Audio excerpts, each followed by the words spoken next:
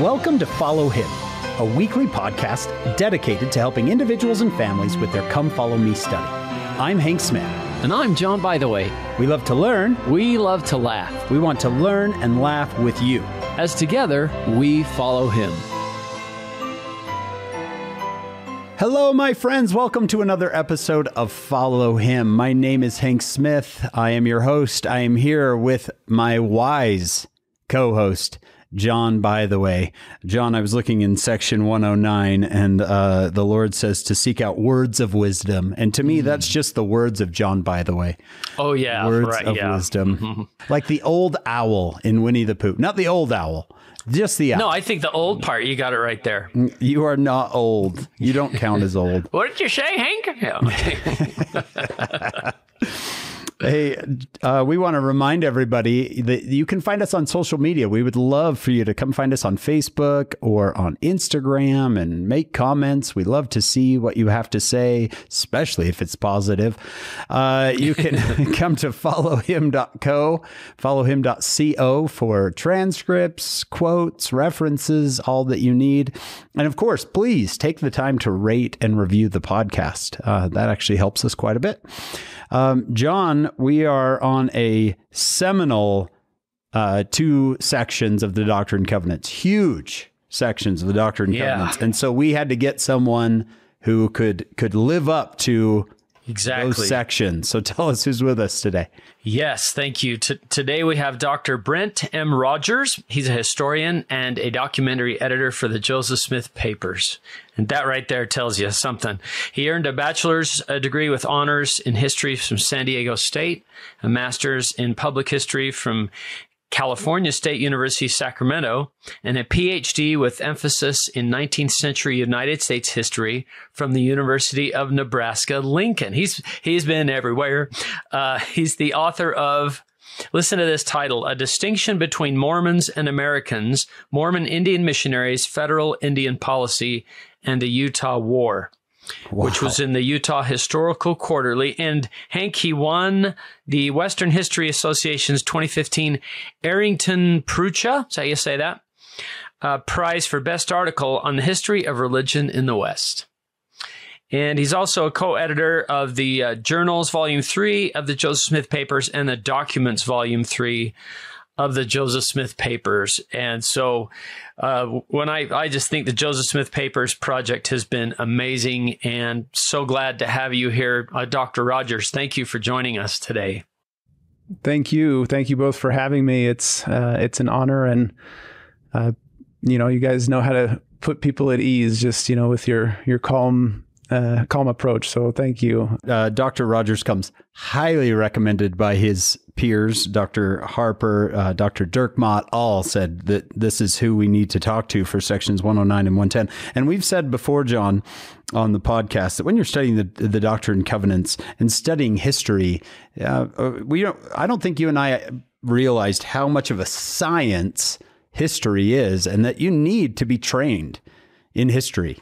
Yeah, there there comes a reliability when you know people are using the tools of, of scholarship, and uh, and you'll hear a precision in their language uh, when they describe things, and so that's a, a real wonderful thing we've had on this podcast is we have people that are acquainted with with those tools of scholarship and history, and and they'll separate an assumption from a you know, and, and those kinds of things are, are great to have. So this has been wonderful. And they can be source critical too. So, uh, Dr. Rogers, well, you're an all out historian. Did you always want to be a historian? No, I actually I I can't say that I really took a, a liking to the the study of history until my sophomore year of college.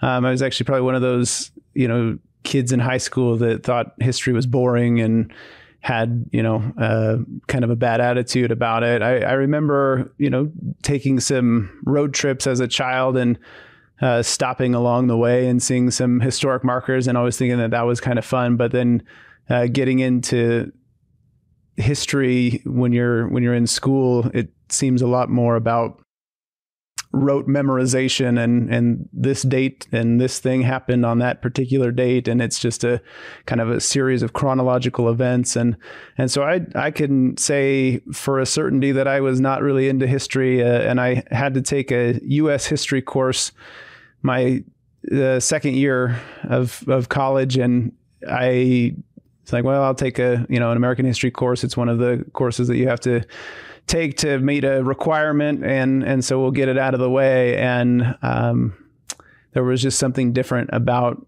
history uh, in really studying the the whys and um, the motives and the decisions that were made uh, that that caused those critical events that happened and that dates get associated with. And so saw a little bit different dynamic to history as I studied it in in college, and particularly interesting to me was uh, was the people dynamic and and how people related to one another, and um, that was something that just seemed a little bit detached from from other you know events whether or uh, you know other study that I had in high school and you know and just uh, going to markers. You know there might be a name of of somebody mentioned but getting to know more about the I guess ordinary people um, was was fascinating to me.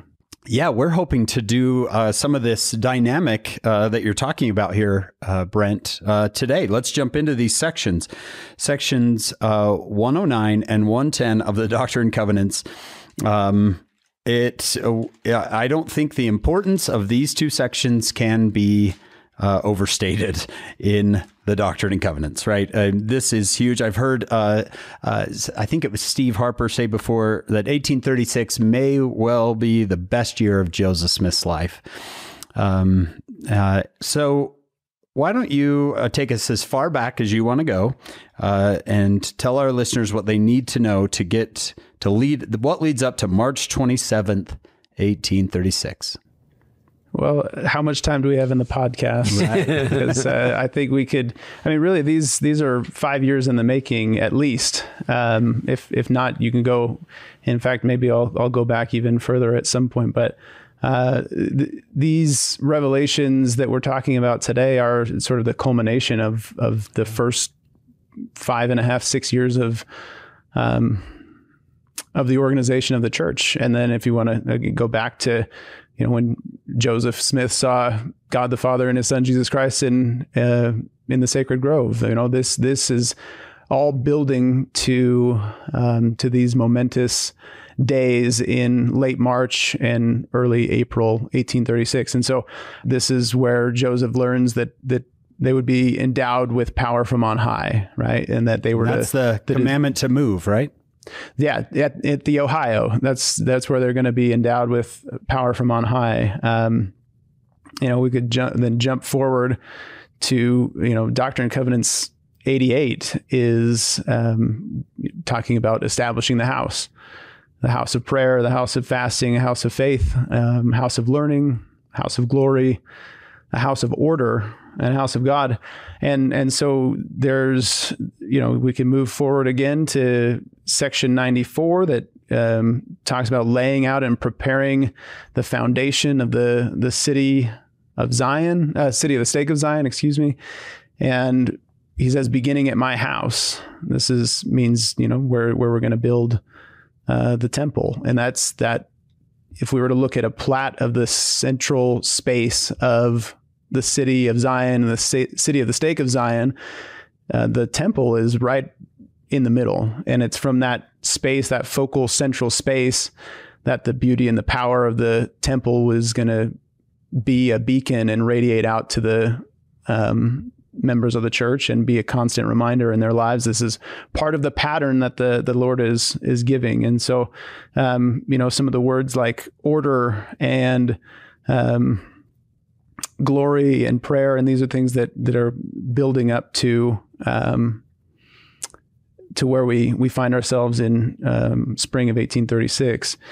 And uh, one other section, maybe just to hint at here to start, is uh, section 95, uh, which I, I've long found to be a very fascinating uh, section. But the the part that the Lord says to to Joseph and the saints that ye have sinned against me a very grievous sin, in that ye have not considered the great commandment in all things that I have given unto you concerning the building of mine house for the preparation wherewith I designed to prepare mine apostles to prune the vineyard for the last time.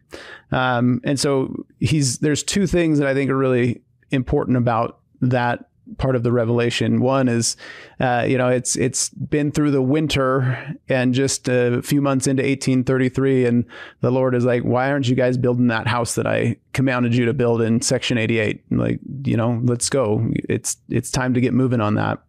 Um, and the just a few days later, Hyrum Smith writes in his journal that you know they start digging out the the trench uh, and the for the walls and and they get going. I mean, they take the Section 95 revelation pretty seriously. The Saints do, and they they really start. That's when work begins in earnest um, on the on the temple in Kirtland. I remember from an earlier, maybe when we were talking about Section 95, wasn't Hyrum the first one to throw a shovel into the ground or something and said he wanted to be the first? And yeah, yeah, I know. And he he goes and he grabs it and immediately begins digging mm-hmm. out those uh, those areas for the foundation, and it's yeah. it's pretty um, pretty remarkable to see how quickly they respond to that uh, physical act of getting the temple going. There's a great lesson there for me. Is is sometimes sometimes we want to wait until we feel like we've got everything in place, right? We're going to, well, let's just wait a little bit longer and we'll get, you know, what about the windows? What about the roof? What about this? And Hyrum Smith's, let's get started. let's get started. Yeah. The Lord can start bringing people in. I've noticed that, and maybe we can talk about a little bit about this, Brent, as you as you uh, prep us for 109. But it seems to me once they got started, the Lord started sending those who could do windows, who could do furniture, who could do plans, but they had to get started. Yeah, acting acting on that um, command, if you will, that revelation, that prompting, and and doing it, not maybe knowing where where it's going to go or how you're going to get some of those things accomplished, and um, those ways uh, come about because of the faith taken to get started. I think, yeah, I think that's a great point.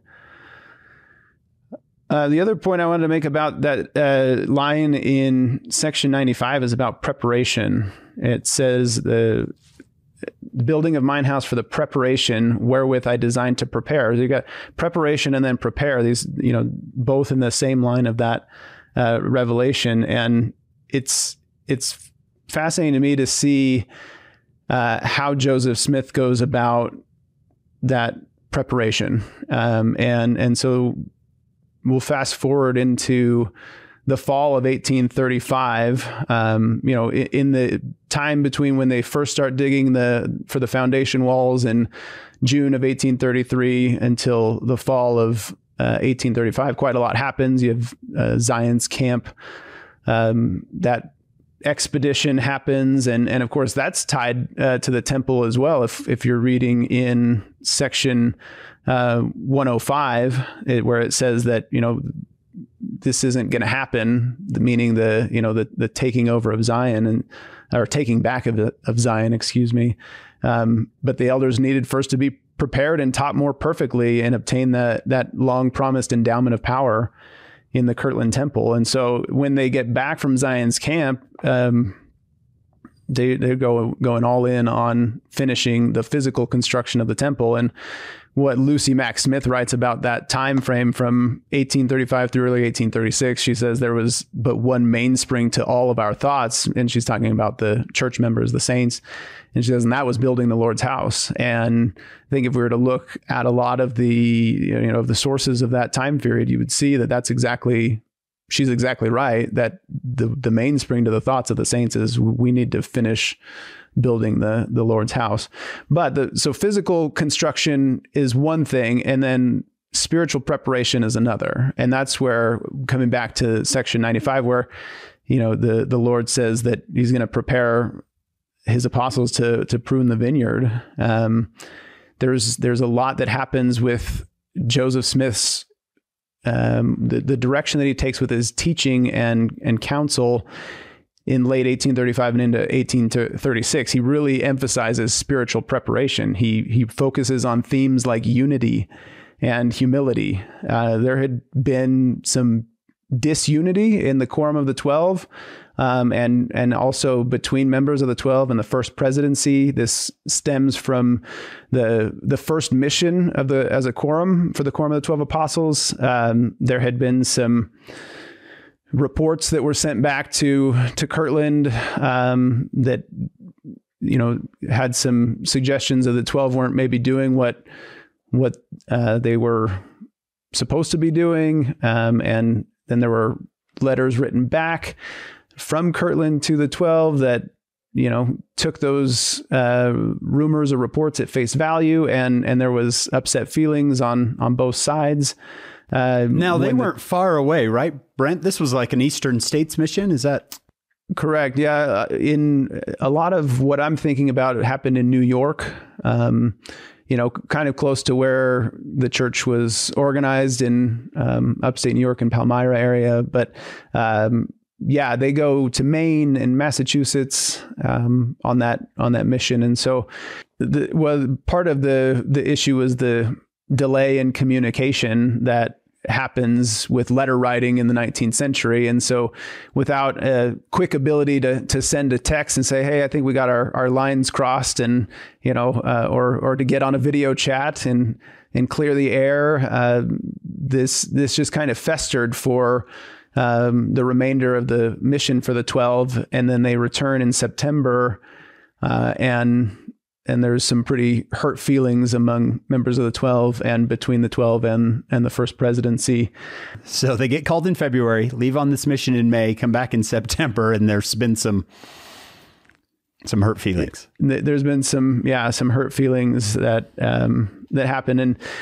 There, there's an effort made uh, when they first returned to try to clear the air, and it seems to have helped briefly it doesn't last as as what you know happens sometimes with with humans right? We we hold on to some feelings and we're not totally ready I'm just going to say, Brent, I'm, I'm happy that this never happens in the church today. That there's yeah. no hurt feelings and wards and things We've fester. Got it all and, figured out. Now. Yeah, I'm glad that that doesn't happen today.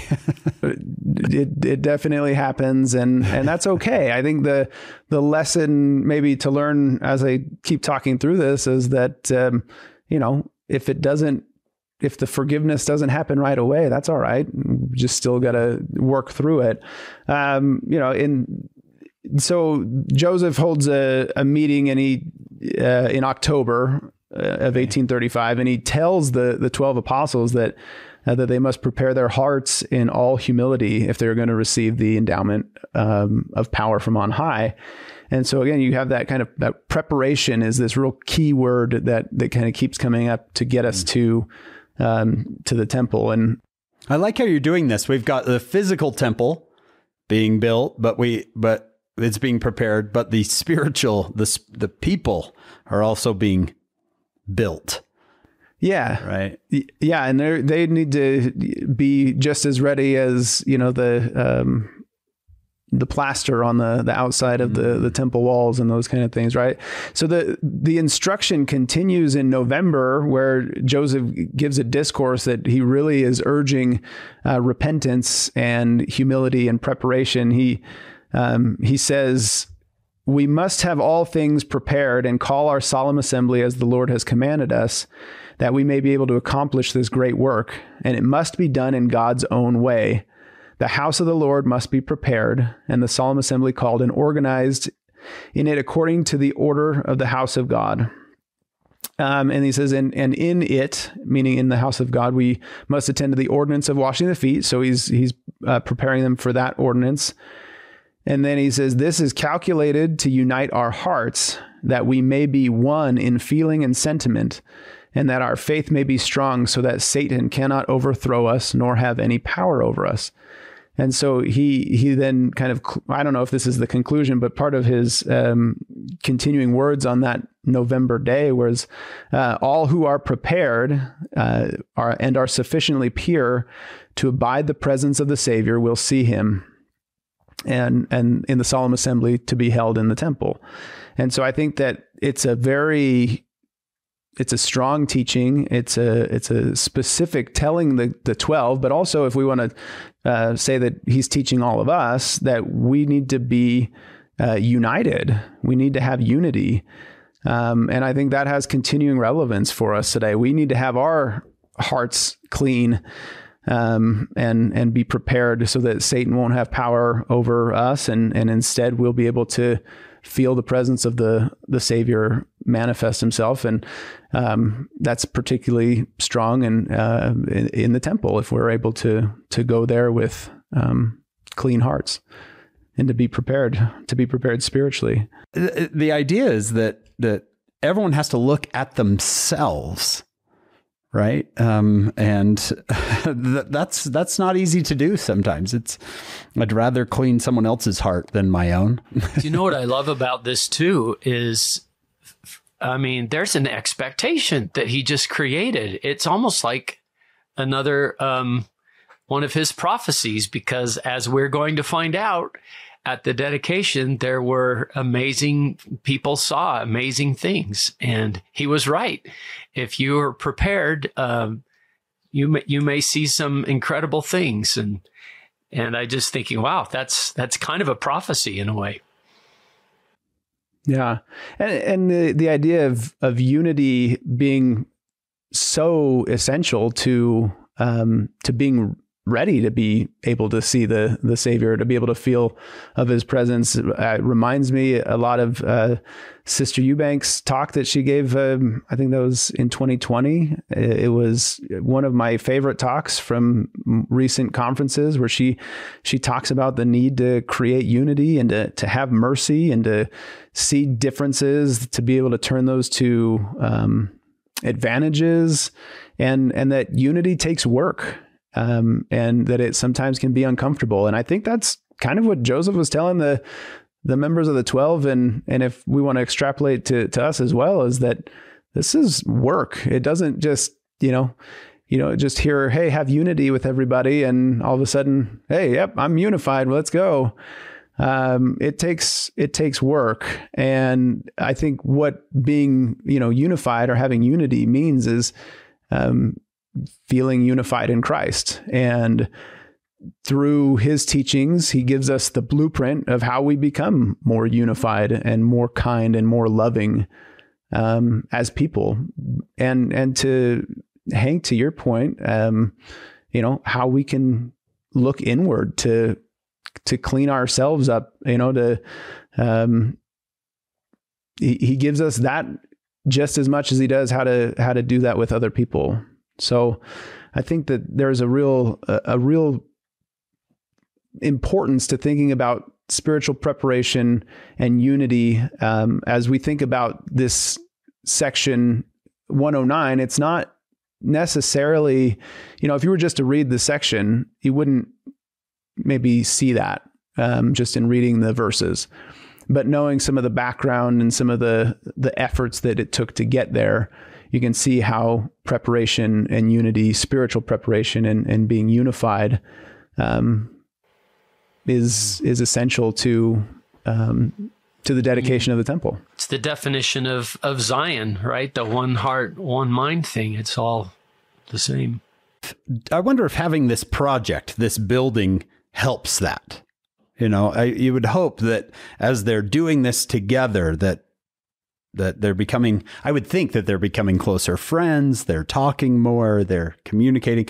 Um, but i just don't know which one was harder building the temple which is incredible right? And we can we can talk a little bit about that brent the actual construction um, or becoming unified. I i don't know which one is going to be more difficult um, yeah.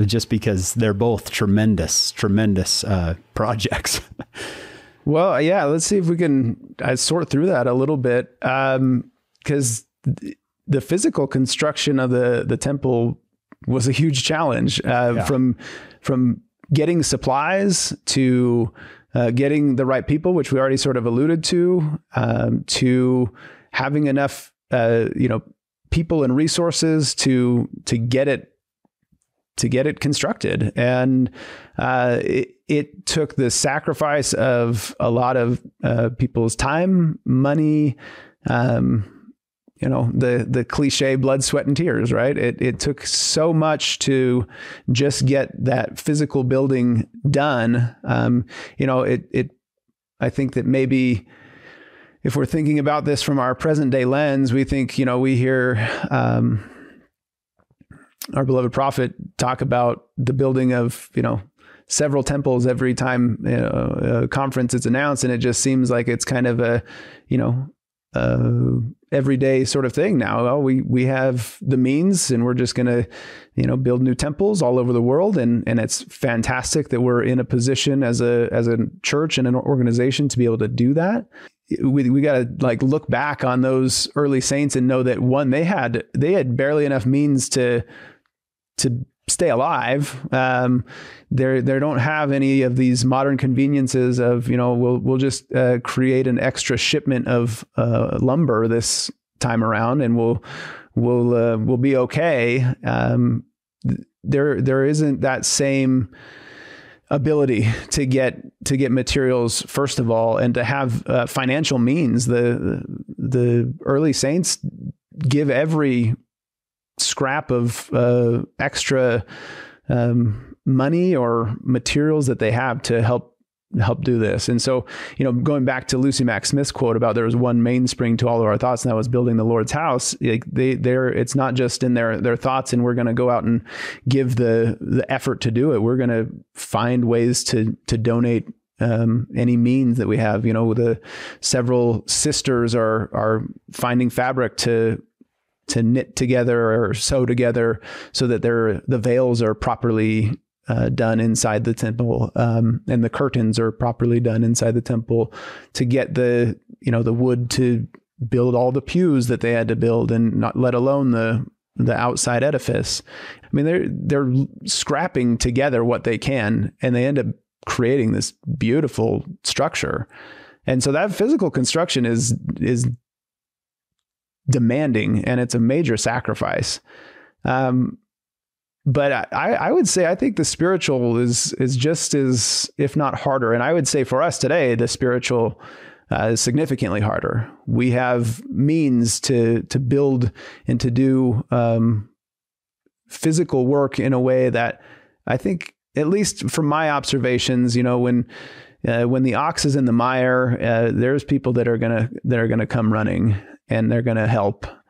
You know, we've had up in up in where I live in Farmington, we've had some windstorms, um, you know, and some some weather issues that have created some need for people to get out with some chainsaws and cut down some fallen trees and and these kind of and we have so many people that'll come out and and help with that and it's that project having that project allows them to to come out and there's a they see there's a real need sometimes I don't know if we see that same need if there's a you know a leak in our spiritual dam or something like that. We we kind of uh, find ways just to you know paper it a little bit and and then move on as the, the the dam might crack a little bit more and more.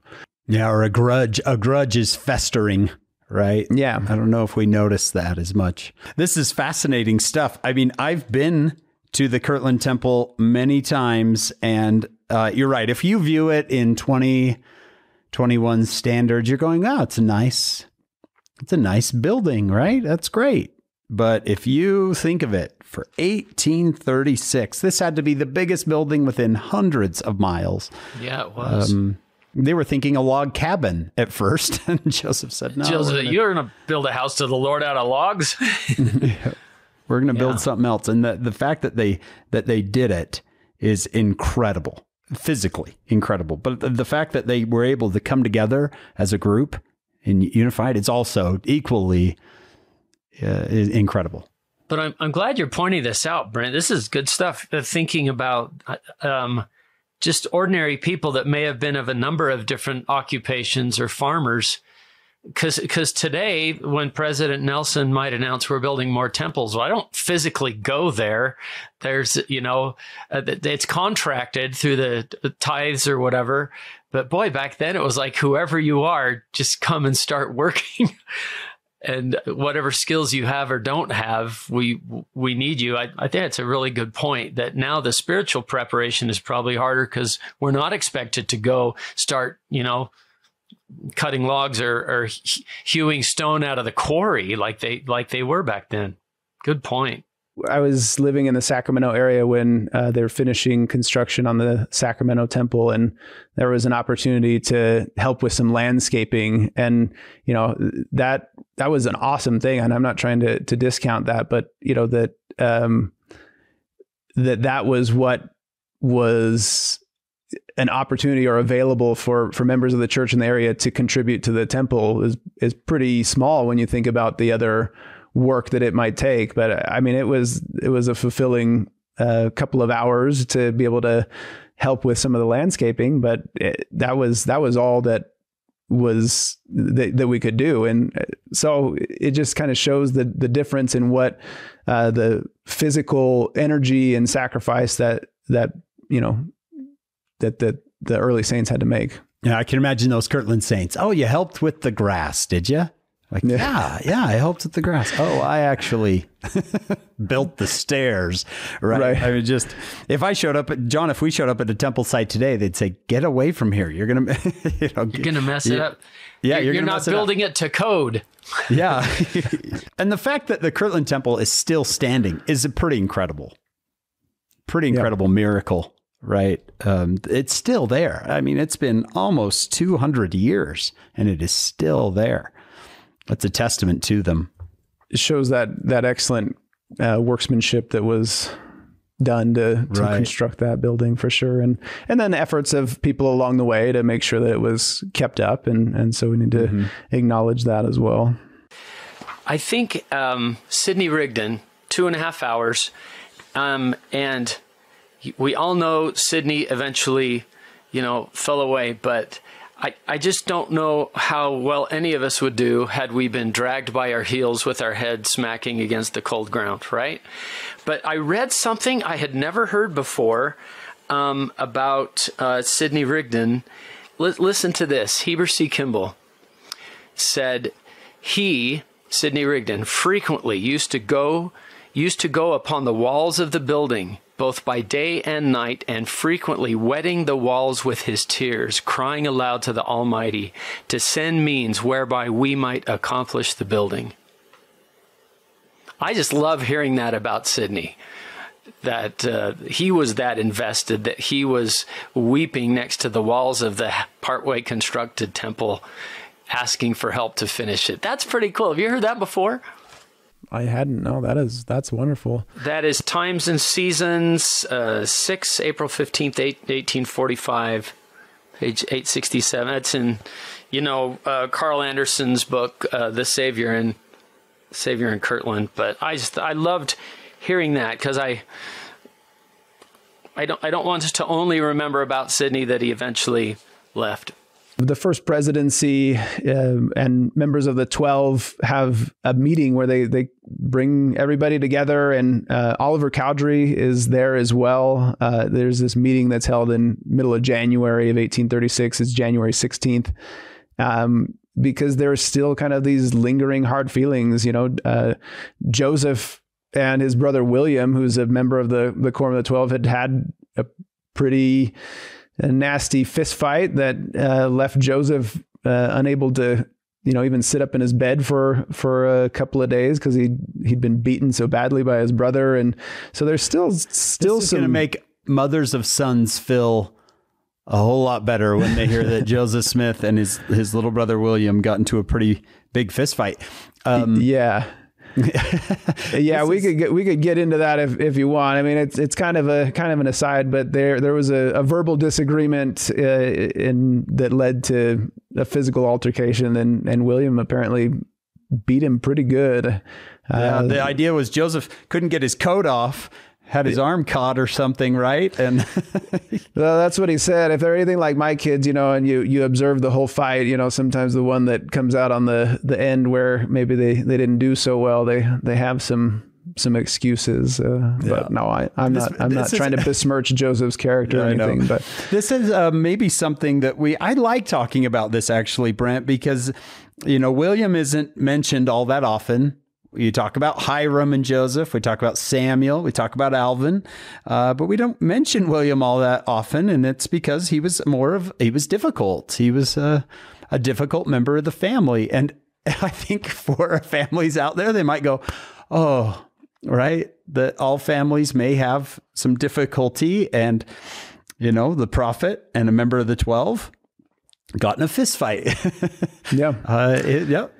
William, I would say, you know, there's other people that know a lot more about about William Smith, but I would say that I think that he was very human, and he, um, you know, he kind of went with his his feelings and and passion, um, and and in some cases went pretty hard with them, and and I think that you know that's okay. He had a good heart, and uh, his you know his relationship with his brothers was generally pretty good. Although, you know, there's, as is the case with a lot of families, you have, you have times when, um, the emotions run high and and this was one of those those times and um, it it was hard on the family and uh, you know there was some reconciliation that was needed but it might just be kind of a, a point to say it's a bit symbolic of there's there's sort of this underlying tension. And if we want to put take them outside of their roles as brothers and say there's still an underlying tension between members of the first presidency and and the quorum of the 12 apostles it's it's still there. And so they have this they have this meeting in January to air the grievances and everybody who wants to speak gets a chance to speak. And there's um, some pretty passionate talk that's that's made. And um, after all of the members of the the 12 speak Joseph um, he he acknowledges that he he may have expressed some too harsh language at times and he he asks for forgiveness for hurting their feelings. And it's it's interesting if you read the minutes of that meeting that's kind of all it took was his acknowledgement of of the um, of the wrong and his sincere desire to to seek forgiveness and to forgive on his part and that's something that I mean, I, as I've studied Joseph Smith's life, I mean, his um, ability and desire to forgive and extend forgiveness is is quite remarkable to me. Um, and so the, you know the sounds like a big let's air out. let's let's talk about it. Right? Let, yeah, is, yeah. Wow, which takes uh, that's a lot of courage, and for the president of the church to apologize and say, you know what, I'm sorry, and I like how you said this that that's what it took, and they that's that's a tribute to all of these men that they were able to forgive. Kind of see forward. a bigger picture about keeping keeping the temple and its blessings in their sights we talked i mean just the the impression ever since section 88 uh, and in those 90 sections just how anxious the lord was. Uh, the the sections in the some of the 90 sections 95 about would you just build the temple. The lord just seems so anxious to give them the temple blessings. It's just a feeling that you get and so it's it's good that they we've got to do what it takes including forgiving and getting unified to make to get in a position where we get this done. Not only the temple, but ourselves prepared for the temple. Yeah, and they they exchange some uh, promises to each other and express confidence in one another. There's there really seems to be a, a, feeling of unity unity in Christ and focusing on on that kind of bigger picture that that you alluded to, John. And I mean, they, Joseph um, or, or the minutes of the meeting say that there was a perfect unison of feeling uh, on this occasion, and our hearts overflowed. And that's that's kind of how how it ends. And then um, why I think that that's such an important moment in getting us to um, getting us to the temple dedication is the things that happen as a result of that. Uh, it's just a week or days. I can't remember the exact time frame. Uh, about what, five days later, that they're in uh, the temple and doing the um, the ritual washing and anointing for the first time, right? Doing the um, the ordinance of of washing and anointing in the the manner that was shown by um, Moses, right? Who stood who who uh, who did that ordinance in ancient days, um, and that after after Joseph gets the this ordinance done, he is being blessed by his father and and other church leaders are are there. And this is when you know section 137 is is revealed has the vision of of the celestial kingdom, the individuals that would dwell therein. And so I know you, this is not for our uh, our time here, but that that happens in the temple as they've become unified in in their feelings with with one another, and they are uh, in a place of spiritual preparation. So it it in the chronology of events, it happens uh, before the dedication of the temple, but we we read it as section 137, which is which is down the road um, a little bit. But right, yeah, I'm I'm looking at the date. Yeah, you said this meeting was January 16th, and here it is, January 21st, 1836. I, I, I didn't know that it was just after this big reconciliation uh, that this vision opens up. That's beautiful. And and of course that I mean we all um, you know appreciate what is what is taught in this about you know um, especially as it pertained to Joseph Smith's family with uh, with Alvin and all all who have died without a knowledge of the gospel who had received it who would have received it if they had been permitted to to remain on the earth will be heirs in the celestial kingdom and that's that's beautiful and that's something that that is um, you know answers a lot of questions yeah. for for us. It's like theological dynamite. That's amazing to right. have that, to have that the Lord knows how to judge hearts and those who would have received it. And so 137 was given before 109 and 110, what we're studying today. And it was after yeah, after a meeting where they got that feeling of unity, there was some forgiveness, some promises made to each other, and and that's when that revelation came. That's a that's great. Yeah, and now I can't say that you know that's the the cause and effect, but the timing of it. But it was um, after that, yeah. Yeah, that, that it comes after that. You know, there's I I think that there's something to that as Joseph is continually teaching about preparation mm. and unity and humility and that after they have that airing of grievances that that they're there and that I think that it shows that they really are there and they really are in that place of spiritual preparation um, and that this is when um, the the vision of the celestial kingdom is is shown to Joseph.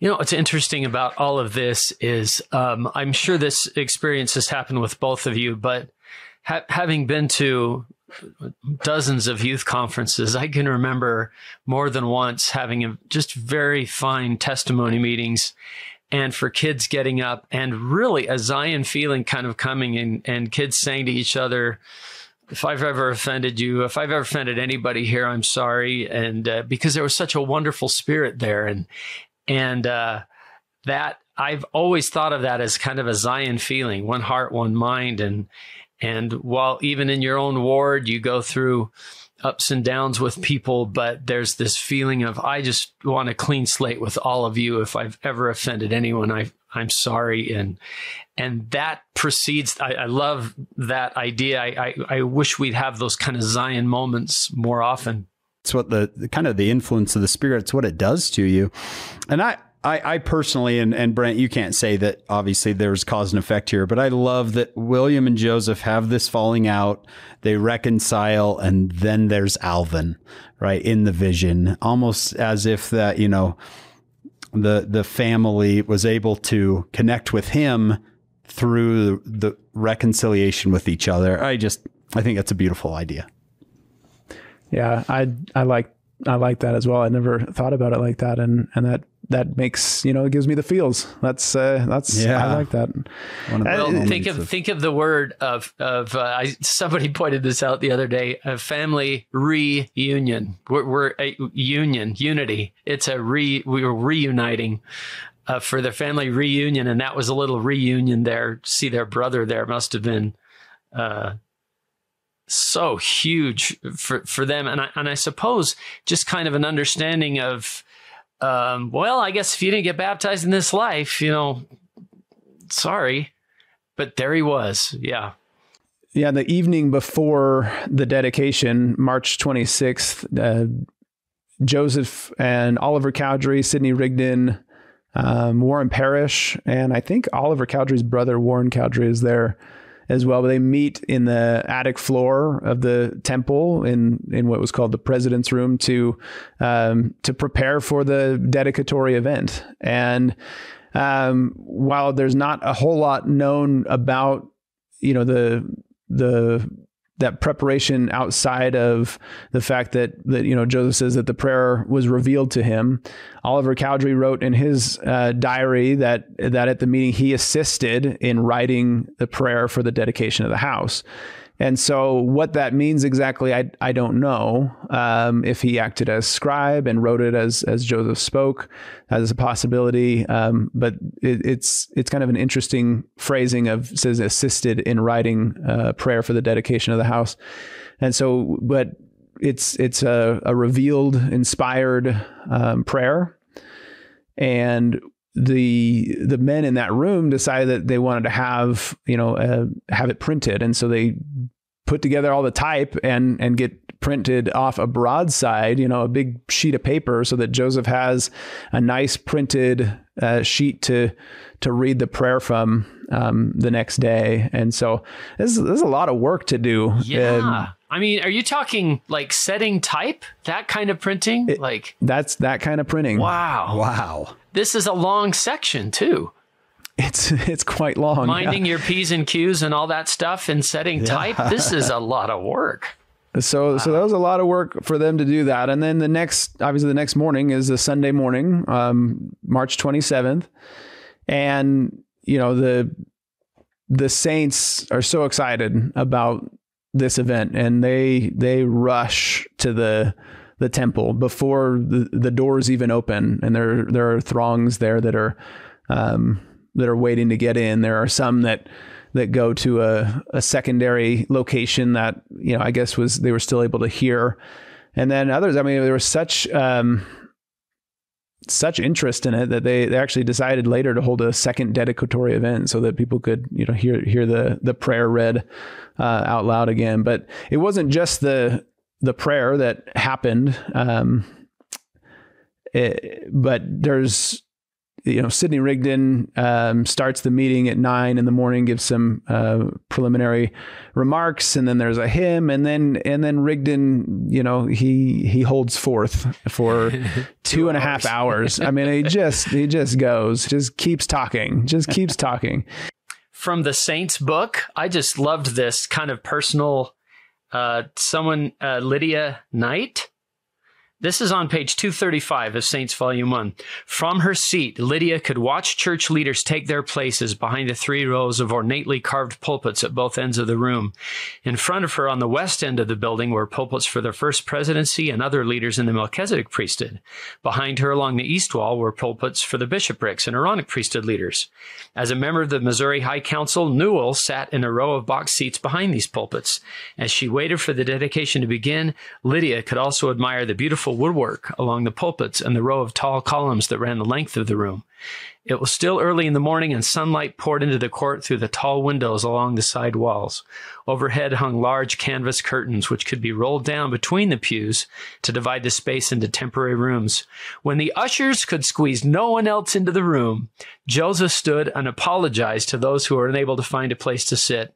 He suggested holding an overflow meeting in the nearby schoolroom in the first floor of the print shop. A few minutes later, the, after the congregation settled into their seats, Sidney opened the service and spoke with great force for more than two hours. After a brief intermission, during which almost everyone in the congregation oh, stayed oh, seated, wonderful. Joseph stood and offered the dedicatory prayer, which he had prepared with the help of Oliver and Sidney the day before as you were saying, Brent, they have been looking forward to this. This has been a lot of time, a lot of sacrifice. Now, here's the question I had. Okay, we're going to hold an overflow. Okay, what are they going to do? Pipe sound over there? What are they going to run notes like King Benjamin's speech or so? How are they going to do that?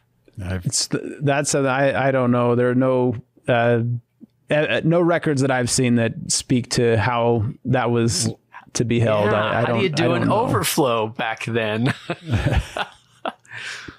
someone's writing it down and someone's pretending to be Joseph Smith in the overflow, and just five minutes later, he's reading what was written. Uh, I don't know. One thing that we can try to do more is is encourage and share the voices of um, the sisters that we don't always get to hear.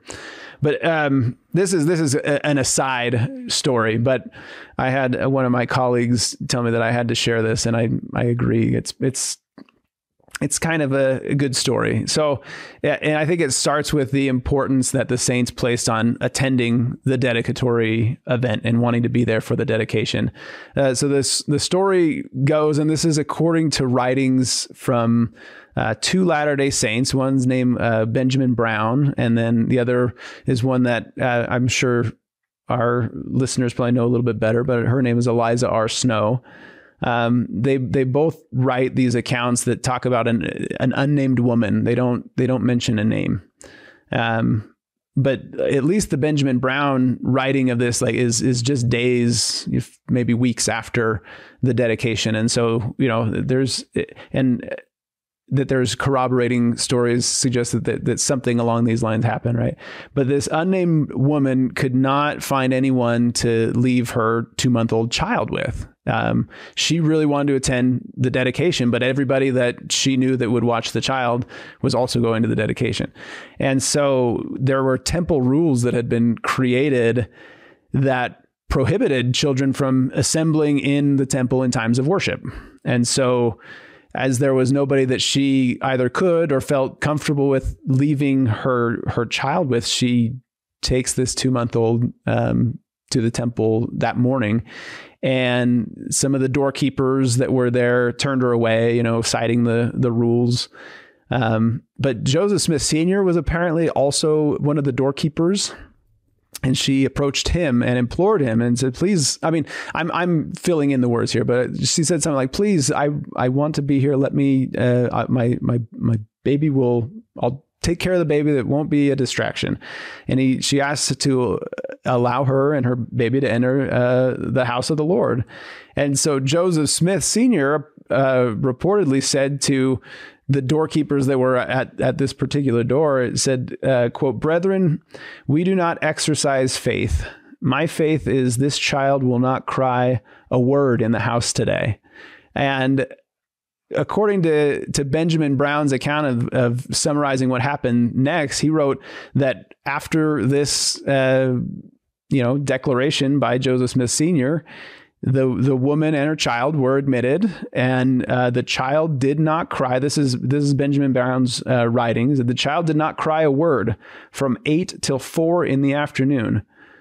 And this is the part that uh, my Eight my colleagues and I especially especially find um, fascinating. We'll say uh, when the saints all shouted Hosanna, the child was nursing but let go and shouted also when the saints paused, it paused. When they shouted, it shouted for three times. When they shouted amen, it shouted also for three times. Then it resumed its nursing without any alarm.